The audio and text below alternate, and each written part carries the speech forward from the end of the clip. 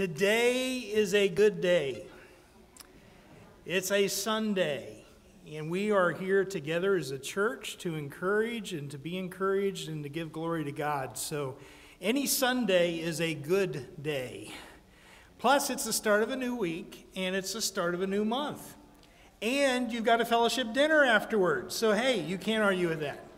So, today is a good day. And let's continue on with our worship this morning. Our first song this morning is called The Heart of Worship.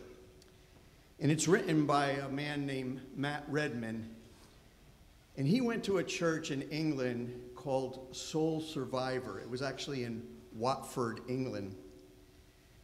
But the pastor had a, a dilemma. He had felt that the church had lost its way in worship. And he stated that the way back to the heart was to strip everything else away. He reminded the church family to be producers of worship, not just consumers. And he asked the people, he said, when you come through the doors on Sunday, what are you bringing as your offering to God?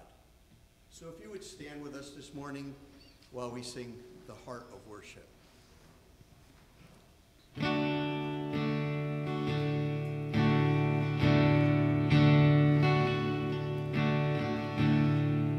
When the music fades, all is stripped away, and I simply come,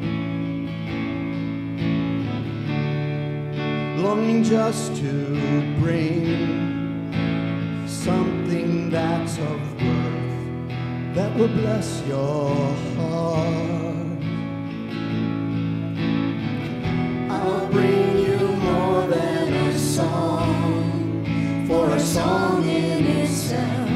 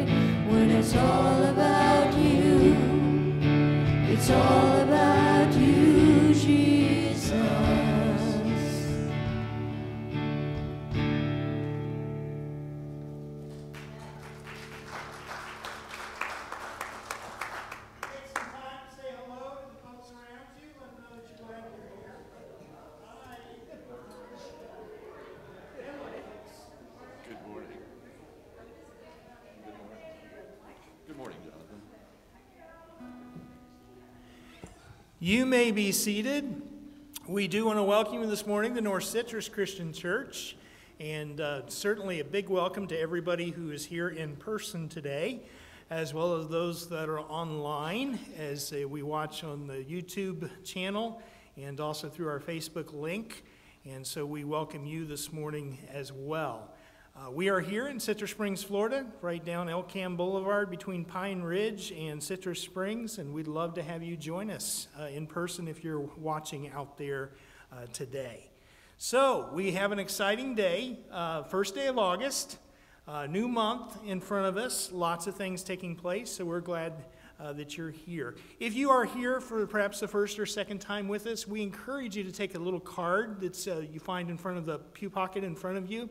Uh, simply our welcome card just simply gives us an opportunity to get your name, uh, address, contact information. So if you could fill that out for us, that would be a big help. Um, we uh, simply uh, ask that you put those in the, in the boxes or on either side. We don't take up an offering uh, here at North Citrus Christian Church. We simply ask that our regular attenders and members place the uh, offerings between themselves and God in the boxes that are on either side. Little wooden boxes on the wall and one in the back. So you can place your cards there as well, just so that those are uh, in the right place and we can get your information. As we move forward, lots of things taking place. Keep in mind, we're back into regular schedule for Tuesday night uh, at 6 o'clock and Wednesday night, at 6 o'clock, for some Bible studies. Uh, so those are all coming up. Uh, of course, today is our pitch in dinner, so everyone is welcome to stay afterwards. And we'll just go right over to the next building over in our Life Center and uh, have a, a, time together. So even if you're visiting with us for the first time, we want you to be our guest today and uh, stay for lunch. We are continuing to collect uh, peanut butter and jelly because everybody loves peanut butter and jelly, right? Well, there's a better purpose than just everybody loves peanut butter and jelly. We have children in our county um, who have been identified as not having meals during the week not having meals during the summertime in the school system, and uh, folks through Citrus County Blessings have kind of identified them. And so they've been sending home meals to those families so that they get fed on a regular basis. And so peanut butter and jelly is one way to do that. So uh, Patty's been collecting some peanut butter and jelly jars back there. We're going to be doing that for a few more weeks. Um, so if you got peanut butter and jelly to bring in, please do so. And uh, in the back area, there's a place to uh, put all of that information. So that's all good and all happening uh, rather quickly. Uh, one other thing I want to mention uh, the constitutional uh, amendment. Uh, this is for a human life protection amendment. It's on the, the front table back there where the two lights are. This is an opportunity for you as a registered voter to uh, sign a, a, petition to place this onto the amendment ballot. Uh, the ballot summary basically says that all human beings have a right to life regardless of age, illness, or disability where there is a detectable heartbeat.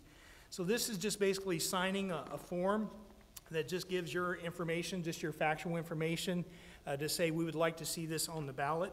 Uh, interesting enough, I got something in the mail this week with another one of these. I don't know if any of you got it. Florida sports betting. and they sent it in the mail and paid money for you to sign it and send it back.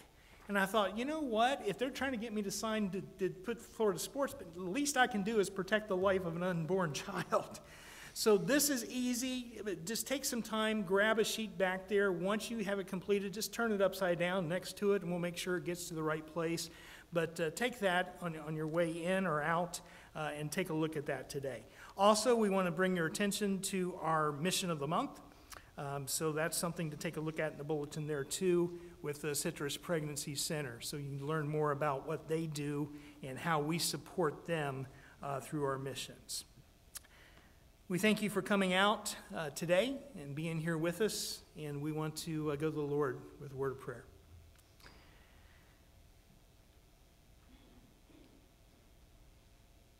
Father, I'm reminded to humble ourselves in the sight of the Lord. And the scripture says that He will lift you up. Father, forgive us when we lift ourselves up and when we kind of promote ourselves above you, above others. Father, help us as we seek out your face and your direction. Lord, I know there's many people uh, dealing with transitions in life. And Lord, many, some people you've even brought in today that are moving here to the county. And Lord, help them in their transitions. And I just pray that you just uh, uh, give them a smooth transition forward. And Lord, and help us to be a help to them. Lord, be with those that are unable to be with us today because of health issues. And Lord, we just pray that uh, with the, the, appointments coming up this week and uh, the answers hopefully to be given for, for folks that are looking to try to find some measure of good health. Father, we just pray for wisdom uh, in the area of leadership, wisdom in the area of, of growing your church, uh, wisdom in the area of reaching out to others to go and to make disciples and to baptize and, and to teach the mission that you have laid before us as a church. Lord, help us in this immediate area of Citrus Springs. Help us in this immediate area of Citrus County. Lord, in this state, in this nation, and across the world, help us to be faithful. Lord, we lift up your name today. We lift your name on high.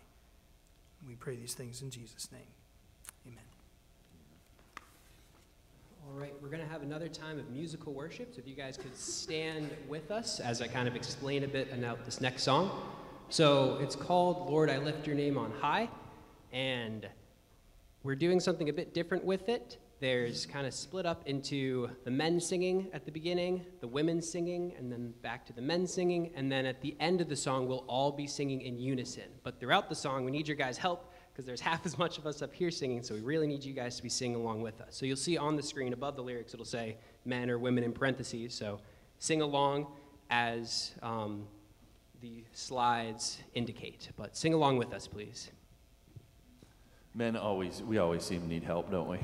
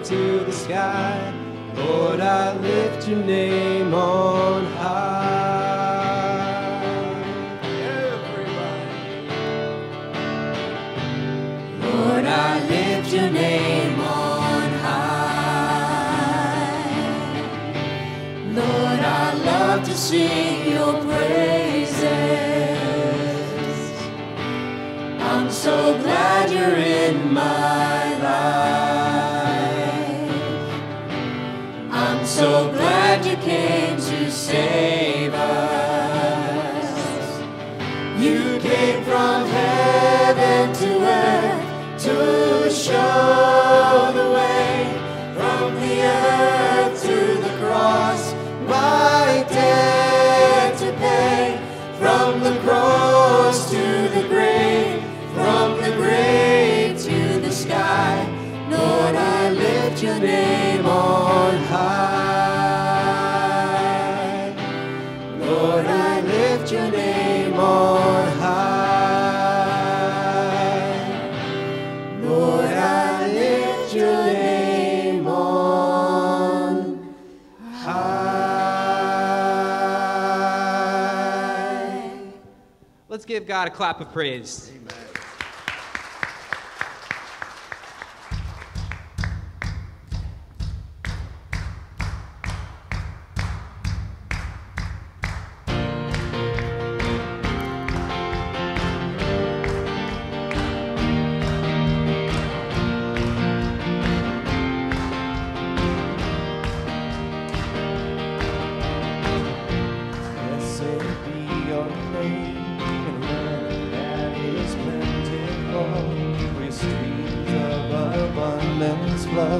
Blessed be your name. Blessed be your name when I'm found in a desert place. Though I walk through the wilderness, blessed be your name. Every blessing you pour out, I turn back to praise. When the darkness closes in, Lord, still I will say, Blessed be the name of the Lord. Blessed be your name. Blessed be the name of the Lord. Blessed be your glorious name. Blessed be your name when the sun is shining down on me, the world's all as it should be. Blessed be your name. Blessed be your name on a road marked with suffering. Though there's pain in the offering, blessed be your name. Every blessing you pour out, turn back to praise.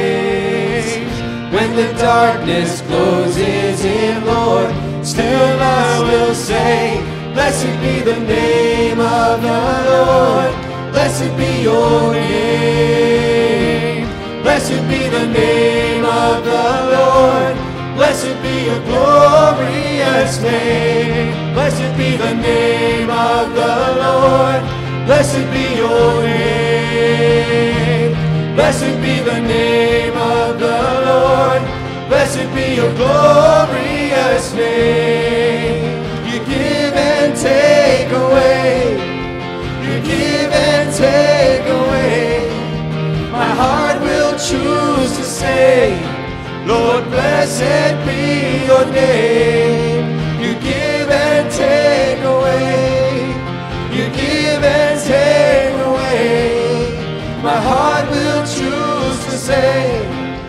Lord, blessed be your name. Blessed be the name of the Lord. Blessed be your name. Blessed be the name of the Lord. Blessed be your glorious name. Blessed be the name of the Lord. Blessed be your name, Jesus. Blessed be the name of the Lord. Blessed be your glorious name.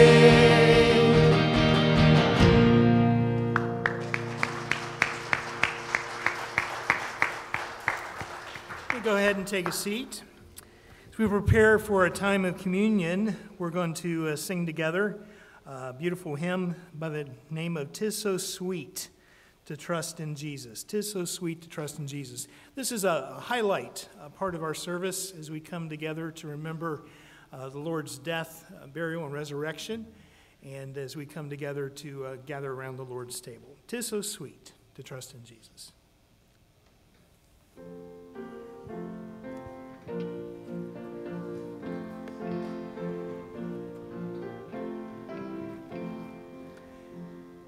Tis so sweet to trust in Jesus, just to take him at his word, just to rest upon his promise, just to know the saith the Lord.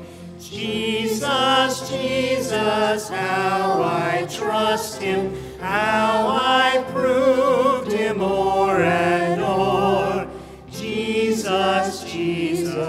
precious Jesus, oh, for grace to trust him more. Oh, how sweet to trust in Jesus, just to trust his cleansing blood, just in simple faith to plunge me neath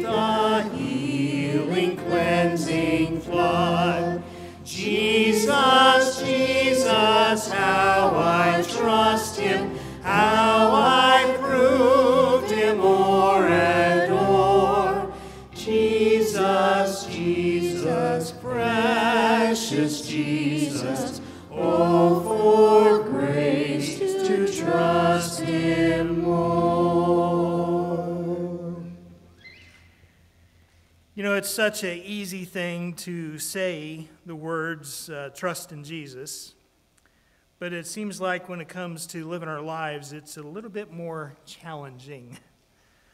Um, you know, Samson is our character of the day that we're going to be taking a look at. And Samson was one who was actually set apart uh, from birth uh, to be one to, uh, to serve the Lord.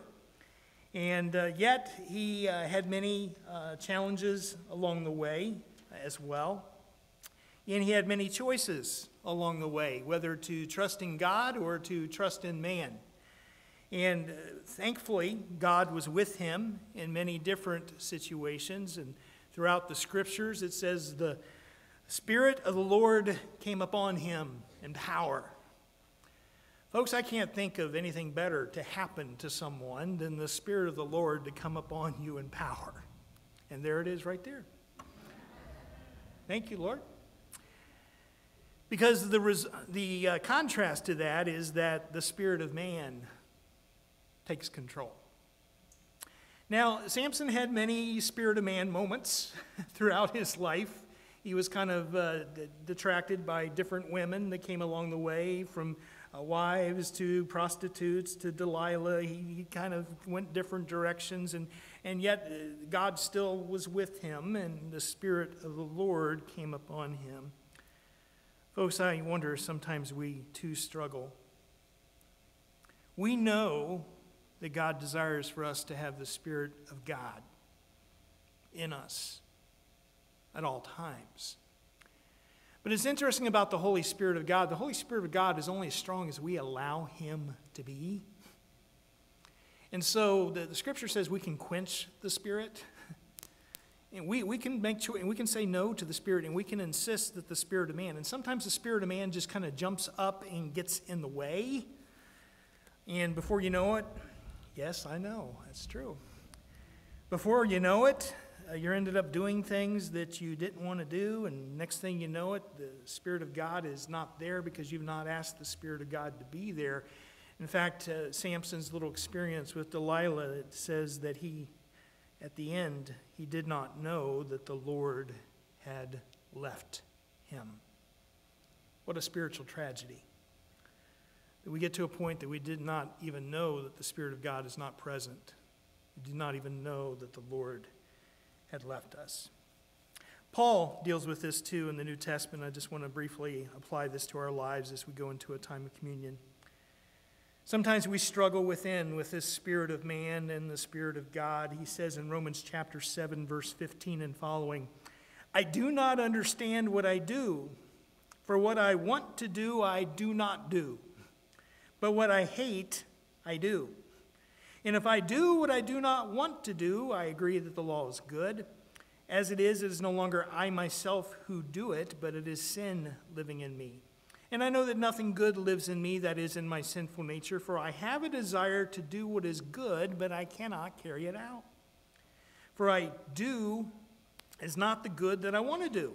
No, the evil that I do not want to do, this I keep on doing. Now, if I do what I do not want to do, it is no longer I who do it, but it is sin that is living in me that does it. And so I find this law at work. When I want to do good, evil is right there with me. For in my inner being I delight in God's law, but I see another law at work in the members of my body, waging war against the law of my mind and making me a prisoner of the law of sin at work in my members. What a wretched man I am. But note his conclusion Who will rescue me from this body of death? Thanks be to God through Jesus Christ our Lord. Folks, that's an ongoing struggle that we continue to deal with in our lives on a regular basis. But thanks be to God that we have a Savior, Jesus Christ, who has found our way through. And even though we struggle, we can always come back and know that the Spirit of God is there to lead us and guide us. As you go into a time of communion today, I simply ask that you take a look at those areas in which you may struggle and then recommit yourself to following the Spirit of God. And the Spirit of God continue to lead you and guide you and direct you. Father, we do thank you for your power that is at work in the thunder and in the lightning. Lord, it's a reminder to us that your power is great enough not only to bring down rain, but your power is great enough to, to rise Jesus up from the dead. Lord, we thank you for that power, and we pray that that same power with the Spirit of God be upon us. Lord, forgive us. Forgive us where we have fallen short.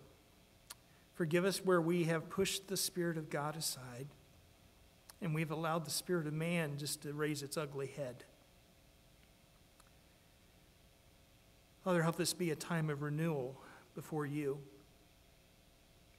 and just to lay our sins at your feet and to renew ourselves to living once again in the power of God.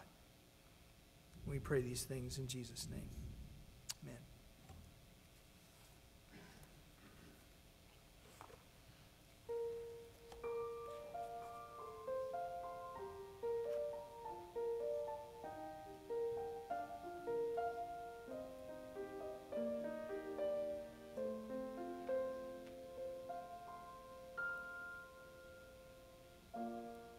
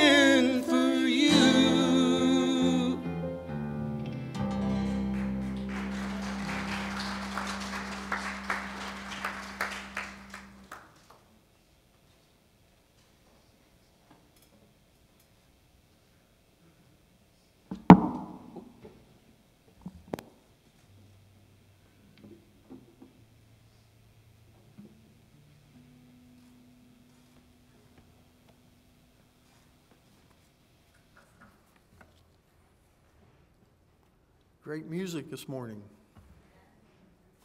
Thank you, all of you. We're going to talk a little bit about Samson, the weak, strong man. I don't know if you know it, but Samson was a girly boy in the, in the sense that he liked women. He really liked women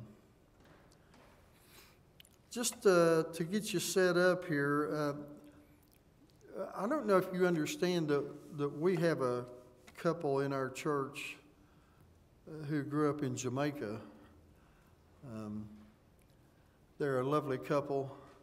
And uh, if you ever go to Jamaica or you know someone who has visited there, you will have heard of uh, a religious sect called the Rastafarians. Rastafarians. Uh, here's a picture of a Rastafarian, an older man. You'll notice his hair is long, braided into a lot of small diameter dreadlocks. Never cut his hair. He has trimmed his beard, apparently, which uh, makes me wonder about why they grow their hair long. This, this is a younger Rastafarian, long hair, dreadlocks. It's begin, it is against their religious, religious belief to cut their hair.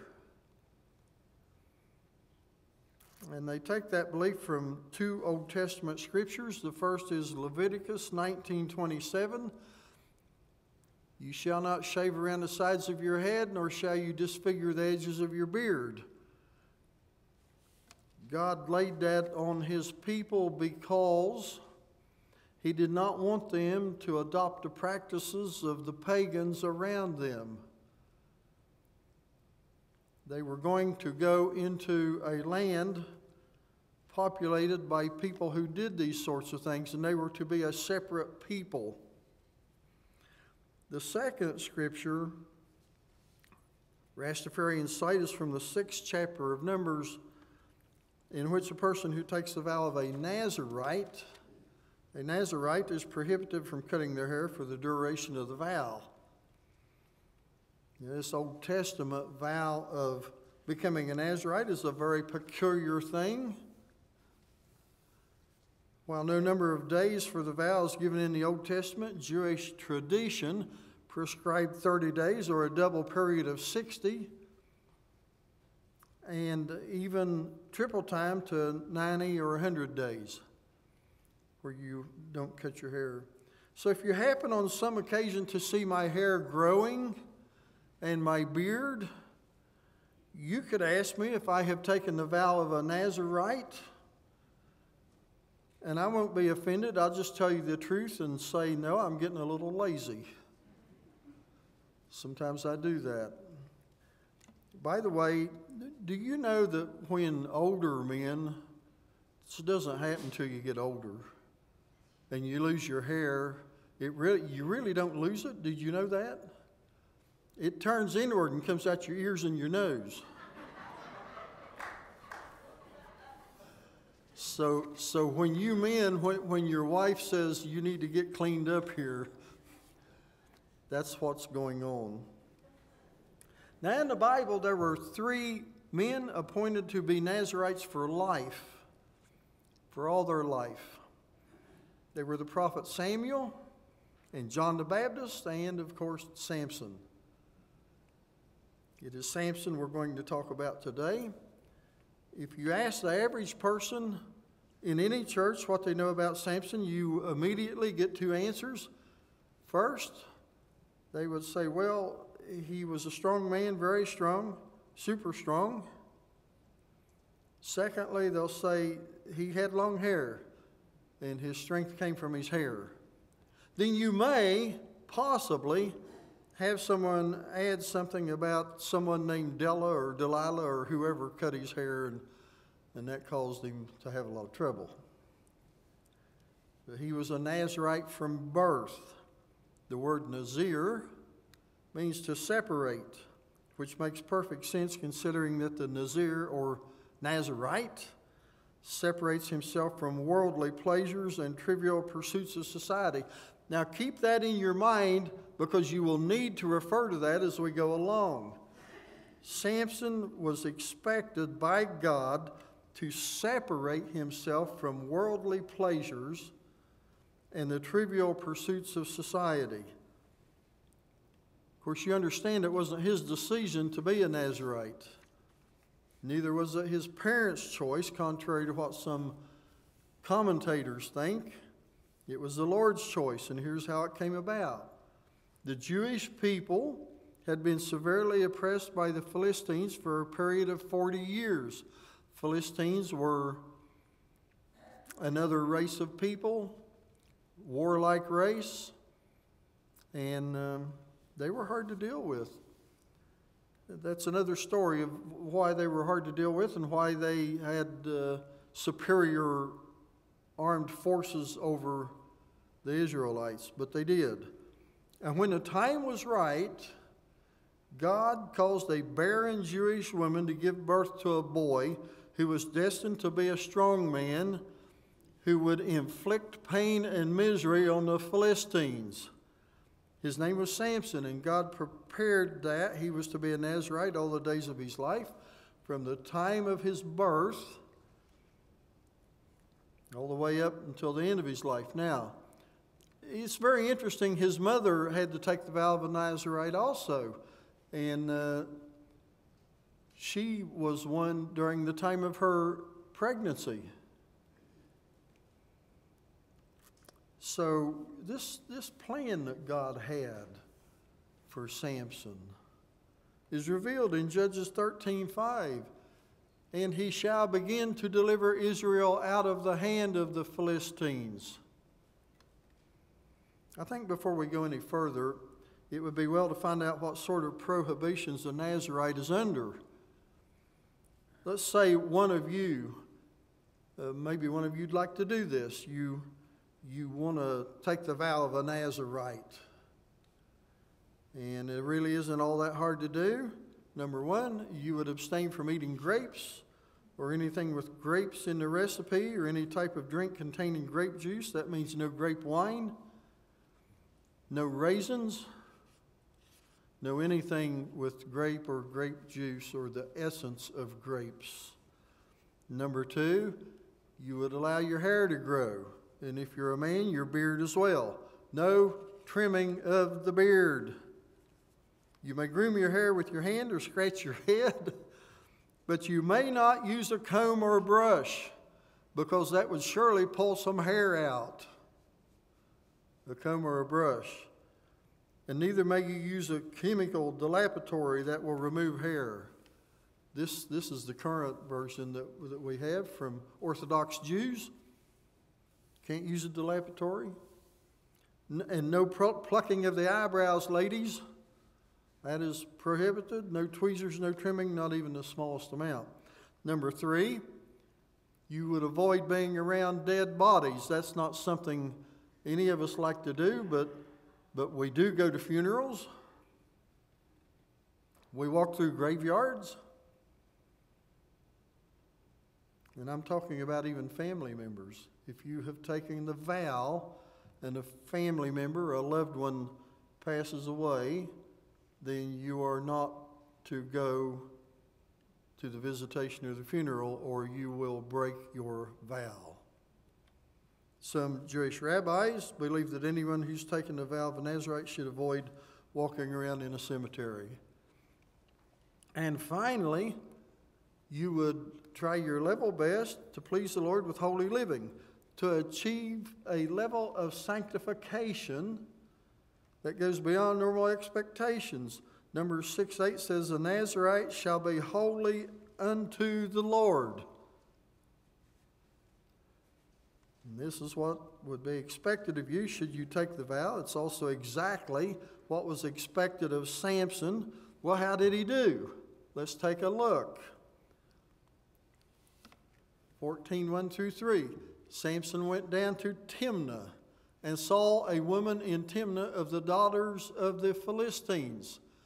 So he went up and told his father and mother, saying, I have seen a woman in Timnah of the daughters of the Philistines. Now, therefore, get her for me as a wife. Then his father and mother said to him, Is there no woman among the daughters of your brethren? Or among all my people that you must go and get a wife from the uncircumcised Philistines? And Samson said to his father, Get her for me, for she pleases me well. All right, what do you think about that? Uh, for one, it was to be an arranged marriage, and that's why he had to get his parents involved, particularly his father. His vow did not stipulate that he could not marry someone out of the faith. The vow did not stipulate that, but it's very plain that that's not what God wanted for any of his people. Neither did his vow say he could not marry anyone he chose, but it did say he was to be holy before the Lord, and no one can be holy before the Lord and break one of the Ten Commandments. You might be thinking about what commandment he possibly broke here. Well, number five says that we are to honor our father and mother. We are to honor our father and mother. And I can't believe in my heart of hearts that after hearing what they said, that he was honoring them when he said, essentially, essentially, I don't care what you want. I want her as a wife. Go get her for me. Strike one. You got that? Strike one. Not too much later, Samson was walking along when a lion jumped out at him. This, this guy was something else. The Bible tells us the Spirit of the Lord came upon him and he tore the beast apart. He just killed it with his bare hands. I don't know how he did it. You see pictures of him uh, with, holding its, its jaws and ripping them open. I don't know how he did it. We don't know. We just know that he did. Then in verses 8 and 9, we read this. After some time, he turned aside to see the carcass of the lion. He was on a trip, and on the way back, he sees the carcass of the lion, and behold, a swarm of bees and honey were in the carcass of the lion. He took some of it in his hands and went along eating. Now, his vow prohibited him being around dead bodies, but here he is eating honey taken directly from the carcass of a lion. Strike two. You begin to wonder if his vow meant anything to him. The next thing we read is about Samson getting into a riddle competition. You, you did this when you were kids, you know. You, you'd say a riddle and someone would guess it, and then they'd have a riddle and you'd have to guess it. Used to be a lot of fun. Um, so he gets into this riddle competition with a group of 30 Philistine men, and the prize was 30 changes of clothing. That's an expensive prize. They won the contest, but only because his wife gave them the answer. She told him the meaning of the riddle, so what does he do? He goes out, kills 30 Philistine men, strips their dead bodies to pay the debt of 30 suits of clothes. Here's the verse. Then the Spirit of the Lord came upon him, and he went down to Ashkelon and killed 30 of their men, took their apparel, gave the changes of clothing to those who had explained the riddle. Talk about being up to your neck in dead bodies. Oh, strike three. Yes, Samson had periods where he did extraordinary things, feats of strength that are unparalleled, unimaginable feats of strength. He wreaked havoc on the Philistines. At one time, he, he even carried the city gate, ripped it right out of the ground, the gate post and all, and carried it up and put it on a high hill. But he essentially lived a selfish life, thinking only of himself, doing what he did to the Philistines out of anger and vengeance, and he was not holy before the Lord. Chapter 16, verse 1. Now Samson went to Gaza and saw a harlot there and went into her. Hmm. I think you know what's going on here. This was not a meeting in which he met up with a woman and talked about the current state of politics. So he goes into this prostitute. Samson was a he man with a she weakness. He was fatally stricken with what certain type of women had to give him. Now, you young women, well, I'm going to get in trouble here because I said young women. Young women have power, a certain power over men. In time, that wanes somewhat, as it be. That's just the natural way of things. But I have seen young women twist men around their finger. I, I had a very good friend. His name was Jimmy Hodges. Love him, love his heart. Was dating a girl. Um, and uh, her name was Justine. They broke up. And uh, he, he was telling my dad about it. My father was an outspoken man. So Jimmy said, Well, sorry to, sorry to have to tell you that Justine and I broke up. My dad looked at him and said, Well, Jimmy, uh, it doesn't make a whole lot of difference what girl you marry, but whoever it is, she will wear the pants. And Jimmy looked at him and said, Well, you know, I think you're right. so much for that. So Samson was one of those guys fatally stricken with what certain type of women had to give him. Now in baseball, the rule is three strikes and you're out, but God was patient with Samson, allowed him to continue thinking he was the master of his own life. But visiting a prostitute, strike 4 Mm-hmm. It doesn't get better. It becomes much worse. 16:4. Afterward, it happened that he loved a woman in the valley of Sorek whose name was Delilah. Now, the scripture here says he loved Delilah. This is not the Greek word. This is not a Greek word at all. This is a Hebrew word. This is not the Greek word agape, which is a self sacrificing type of word that Jesus introduced to us that thinks of the other person. This is like the Greek word eros, eros. The Hebrew word's pronounced all habe, which means to be sexually involved with someone, which he was with Delilah to a great extent strike five, and God has had just about enough. You've heard it said, a picture's worth a thousand words. Look at this. He has a sort of a pensive look. I wish you people on the internet could see this picture.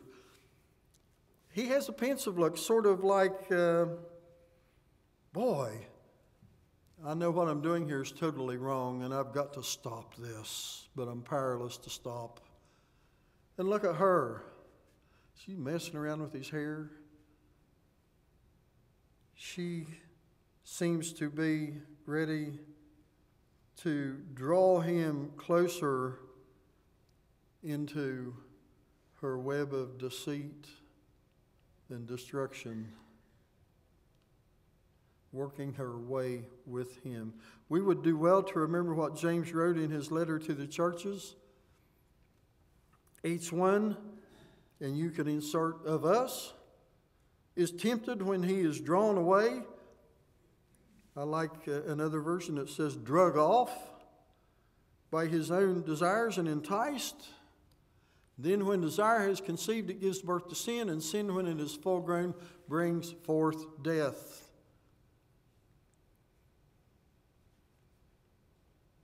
So, Delilah, there she is. Oh, by the way, long hair on boys and men uh, have, not, not so much anymore, but in the past, uh, could have been sort of a problem. I remember when long hair first came out, and I was reminded of a teenager who got his driver's license to ask his father, who was a minister, if he could use a family car. his dad said, Well, yeah, if, if, if you bring your grades up, study the Bible, and get a haircut, then you can use a car. And a month later, the teenager asked his father about using the car again. The father said, Son, I'm proud of you. You brought your grades up, you've studied the Bible every day, but you need to get your hair cut. The boy said, Dad, you know what? In my Bible study, I have read where some notable men in the Bible have long hair. Samson had long hair, Moses did, Noah and John the Baptist had long hair, even Jesus had long hair. His father said, Yes, you're correct. They also walked everywhere they went.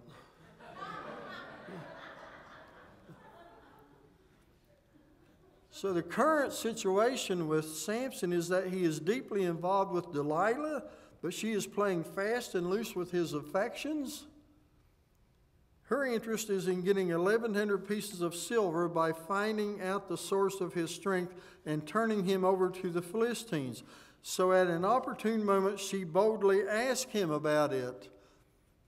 So, Delilah said to Samson, Please tell me where your great strength lies and with what you may be bound to afflict you.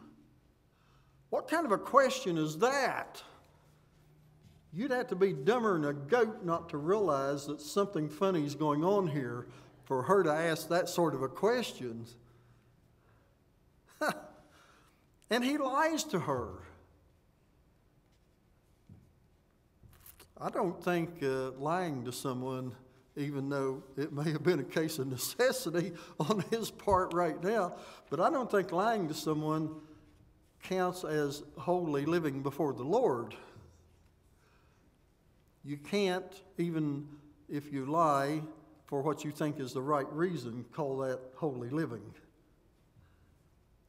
So he tells her that if he's tied up with seven fresh bowstrings, he'd be as weak as any man. I'm not going to count this as strike six, although we could. But the fact of the matter is, at this point, Samson's goose is already cooked. I say that because of his cocksure attitude, which comes from his thinking, because of his great strength that he can overcome anyone and anything. He is full of himself. I could say he is in the peacock of his manhood, spreading his feathers for people to see. So I say that because of the recurring instances in which Delilah continues to ask him the real reason, and he continues to lie to her. First, it's the bowstrings, next, it's new ropes. After that, it's his hair woven into the web of a heavy loom. And in each of these instances, he's, he is either absolutely dumb or he thinks, well, it doesn't matter if the Philistines are out there waiting to pounce on me or not, which is probably the case. I can overcome them easily. But they want to pounce on him, subdue him, torture him. He can't make so, so dense that he doesn't understand that.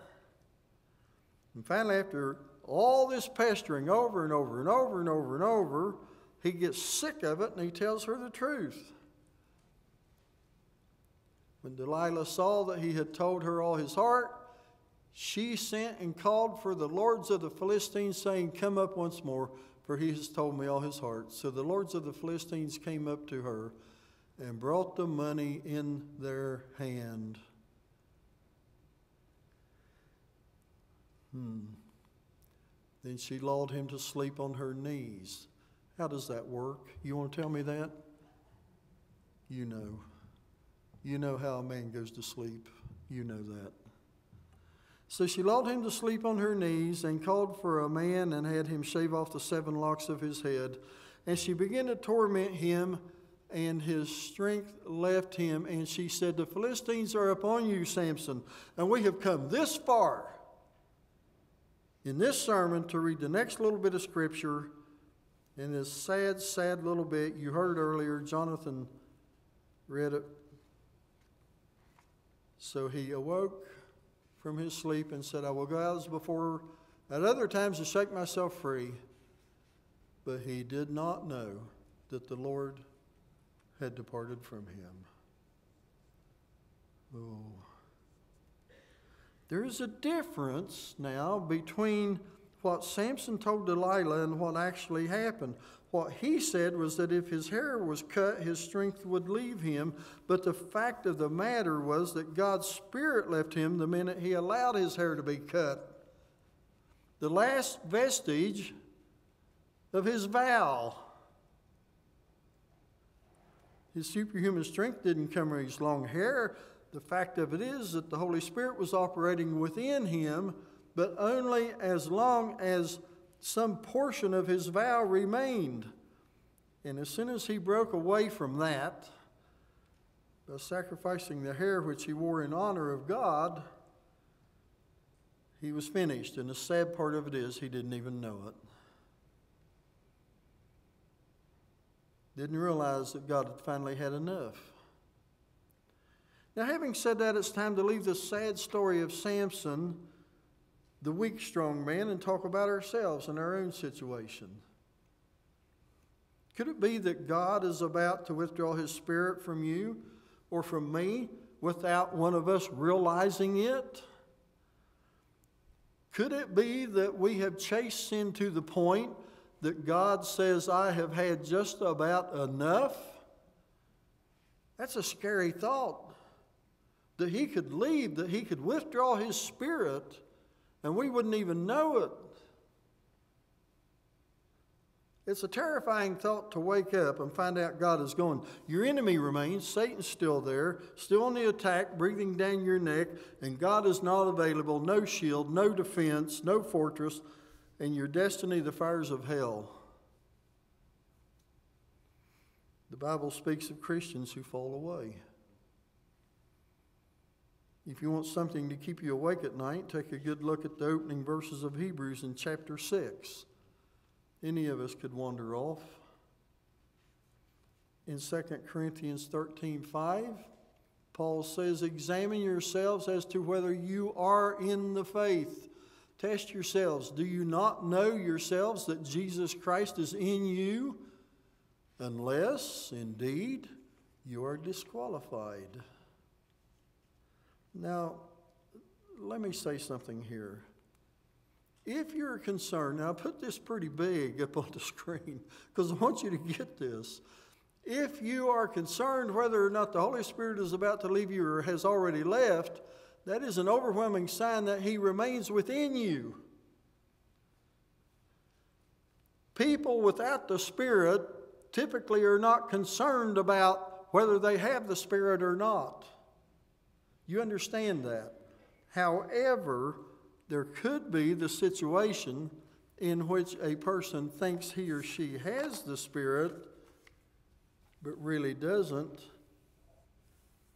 That could be.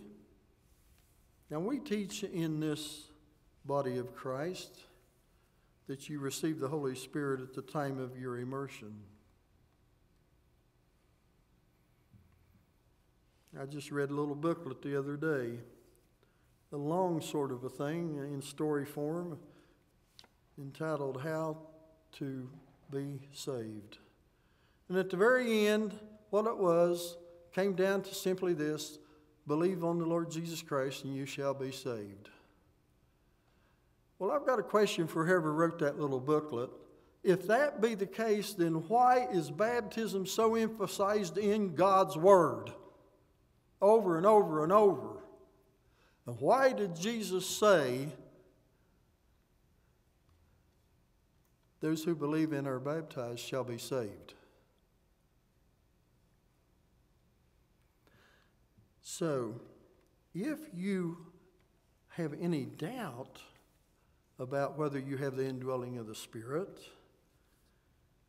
then that can easily be remedied by your repentance, confession, and baptism. And finally, you can't overestimate the grace and mercy of God.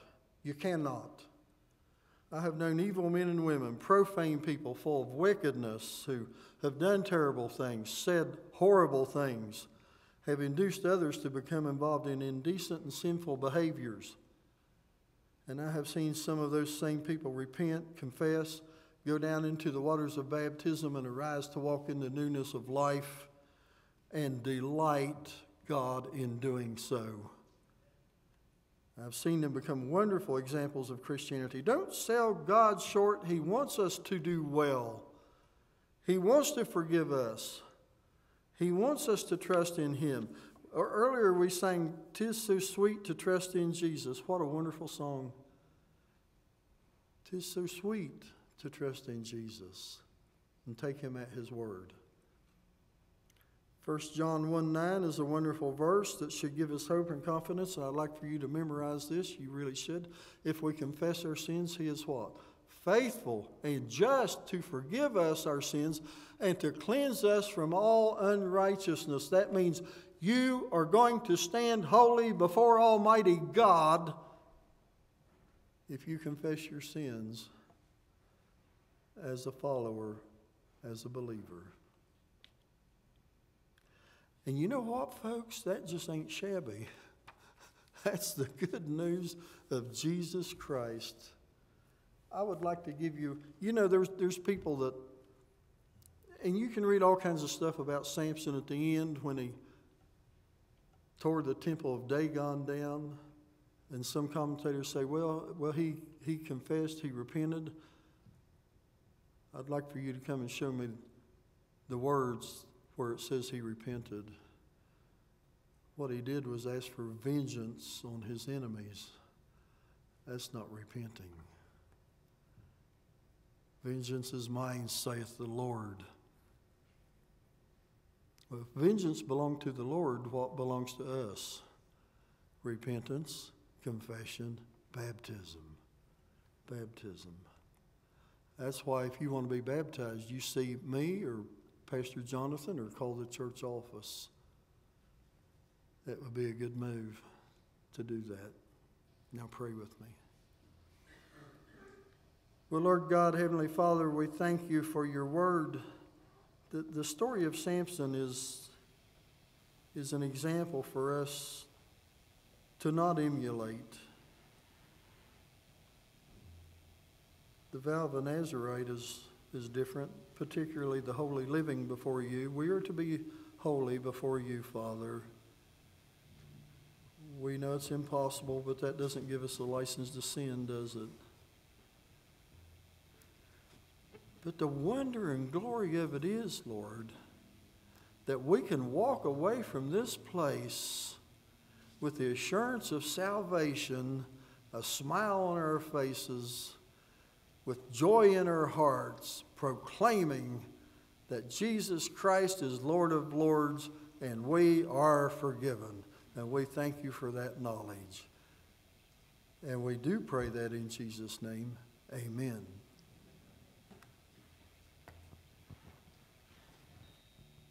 We're going to use our as our invitation hymn uh, this morning. In my heart, there rings a melody of love. I can tell you that melody of love is not the eros love that Samson was after in many different things, but it's a love that is a uh, uh, unconditional agape love that comes from God. That no matter where you've been, no matter who you are, uh, God is there to accept you just as you are.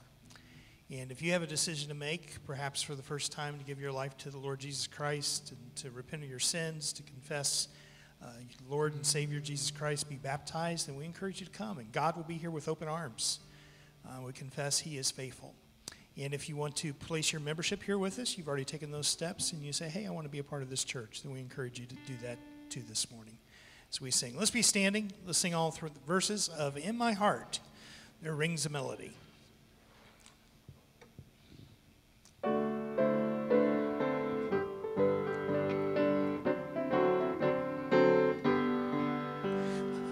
I have a song that Jesus gave me. It was sent from heaven above. There never was a sweeter melody. Tis a melody of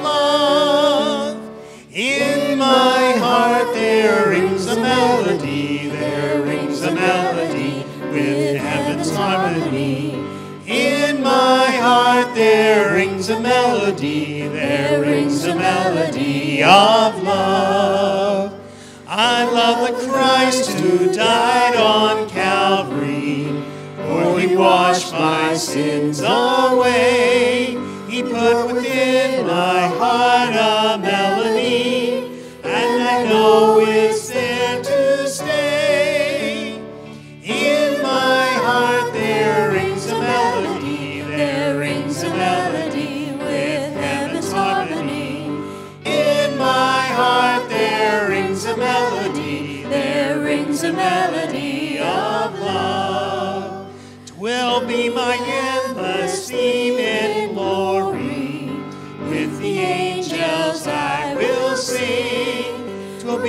song with glorious harmony.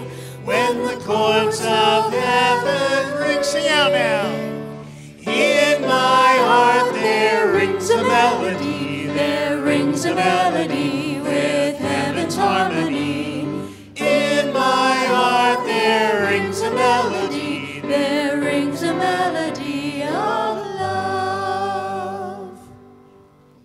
Before we go any further, I want to uh, thank you for being good listeners and being patient listeners. Uh, I hope and trust that the Word of God works in your heart the way it did in mine years ago. Uh, and by the way, I'm always convicted of my own preaching. You know, if a finger's pointing at you, the thumb's pointing back at me. The next thing I want to do is ask God's blessing upon you. Uh, invite all of you to stay for the meal, uh, and I'll give a blessing for the meal in just a moment, all right? So let's bow. Heavenly Father, I thank you for this number of people here today. We are blessed by, by their presence, but we are more blessed by your word, Father, and the fact that it can enter our hearts and change our lives. Uh, Lord God, I ask your protection upon everyone here. We're entering a, entering a time when uh, this disease, this dreadful thing is ramping up again, apparently. And none of us wants to get it or to give it to anyone. So protect us from that. And Lord, I ask you to bless the food we're about to receive. Thank you for the hands that prepared it. We're ready. We have good appetites. We're not only ready for the food, Lord, but ready for the fellowship. And we do thank you for that. In Jesus' precious name, amen. All right, we're going to close with uh, Blessed Be the Name.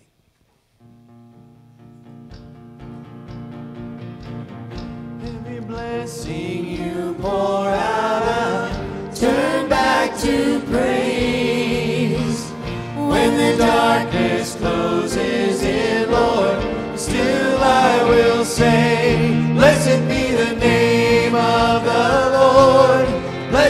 be your name. Blessed be the name of the Lord. Blessed be your glory, I say. Have a great week, everybody.